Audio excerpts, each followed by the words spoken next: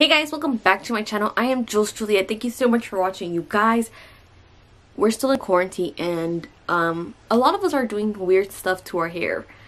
Yes, a lot of us are either cutting our hair, dyeing our hair, um, coloring our hair. But on today's video, I'm going to be telling you guys my top three bleaching products that I absolutely swear by, I love.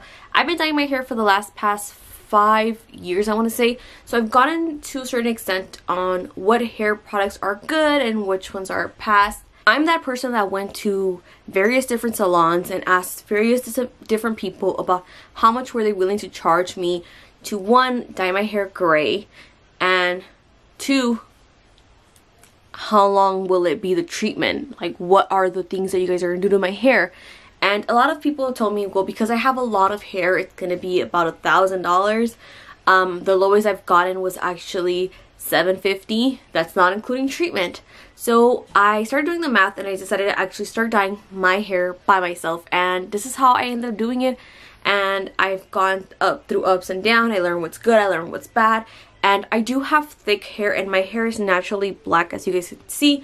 But because I do have thick hair my hair is willing to take more of a hit than other people's hair. If you have thin hair, you know, your hair is most likely going to bleach faster than my hair will. But let's get started to this video. So I'm going to be posting pictures here of how I started when I did my hair. Um, keep in mind this was about five years ago. I actually first started dyeing my hair with using natural things. So I would do the vitamin C plus um, head and shoulders and it would lighten up my hair but it would also be very very drying now if you are doing it that way make sure you have conditioner or hair mask on hand and put that immediately to try to kind of restore your hair again alright so let's get started how to bleach your hair one-on-one -on -one for beginners now these products you can either buy on Amazon or you could buy them on Sally's. I usually would always buy my stuff on Sally's or Amazon. Those are my two places that I go. I never recommend anyone at all to use box bleach. It's not the best. Do not use it. It is it is not something that you want to put your hair through. I mean if you have thick hair then go for it. But if you have thin hair don't even try. It's gonna fry your whole entire hair. One thing is for sure. When you are using bleach you never want to mix it in a metallic bowl. You want to use a plastic bowl a glass bowl nothing that has metallic within that bowl you are allowed to use because for some reason it gives like a chemical reaction and you want to avoid that. Trying to go gray and you have dark black hair, you are going to have to go about three rounds and I would recommend you doing those three rounds once a week. So yes, you're going to be having like yellowish hair and blondish hair, but I would recommend you to do three weeks, you will have your gray hair. Just be patient. Patience is key especially if you don't want to fry your hair.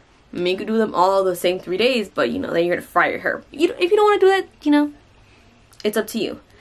The first brand that I absolutely fell in love with and one that has my heart and I absolutely love buying their products. They're a little bit pricier, but I mean, honestly, I feel like they're worth it 100%.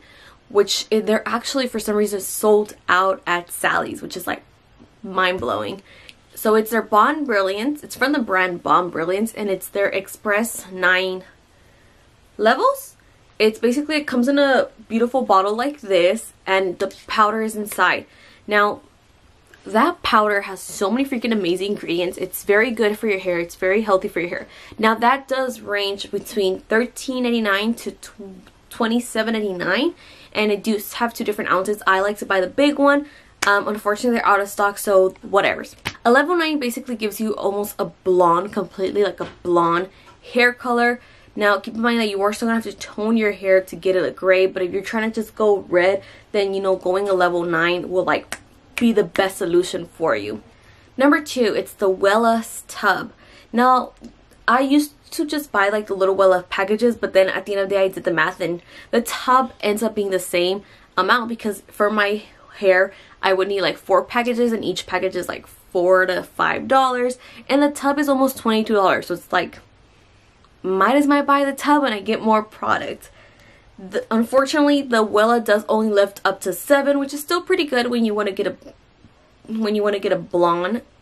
When you are mixing the Wella's developer I mean the Wella powder the Wella's bleach you are going to use 50 and 50. So if you're using one scoop, then you need one scoop of developer.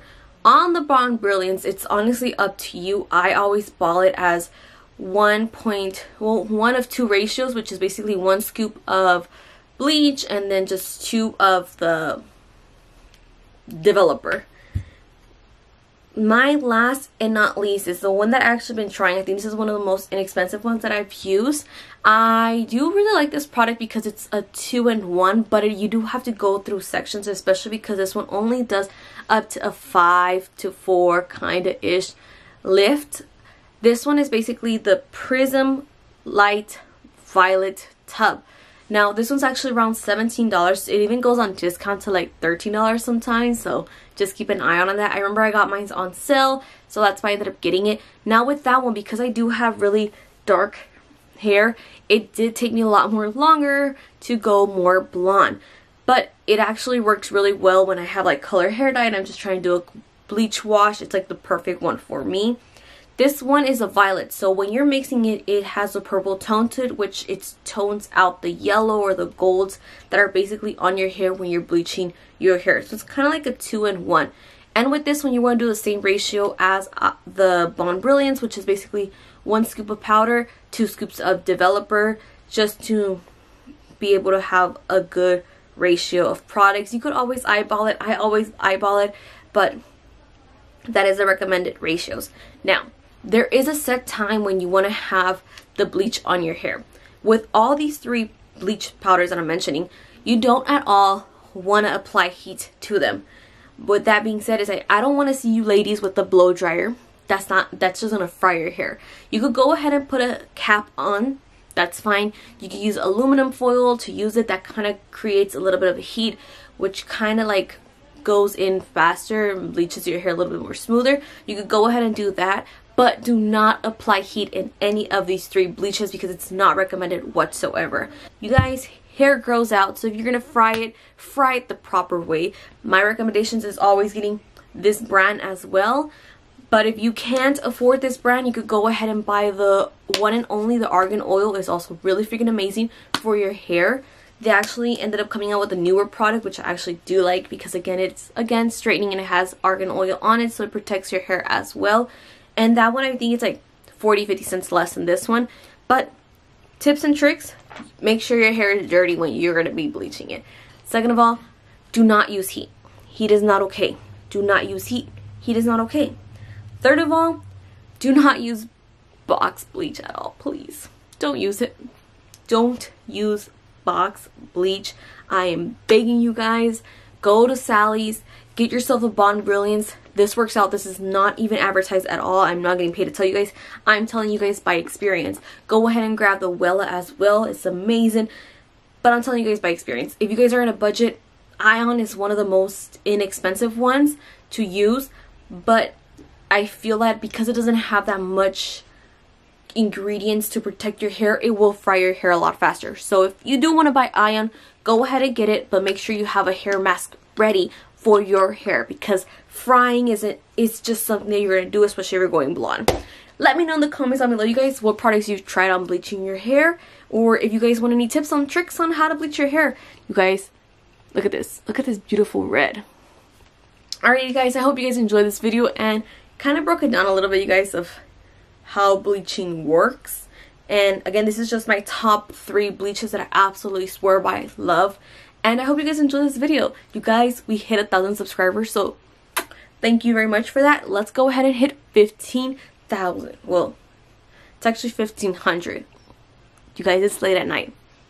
I'll see you beauties in my next video and stay fit, stay safe. You guys, this quarantine is going to last even longer than we expected, which is okay because we need to all stay safe. You guys, if for some reason you guys are not feeling well, go ahead and get some honey and get some tea and get some lemon and just take a shot of that and help your soothe your throat. You guys stay safe and I'll see you guys in my next video.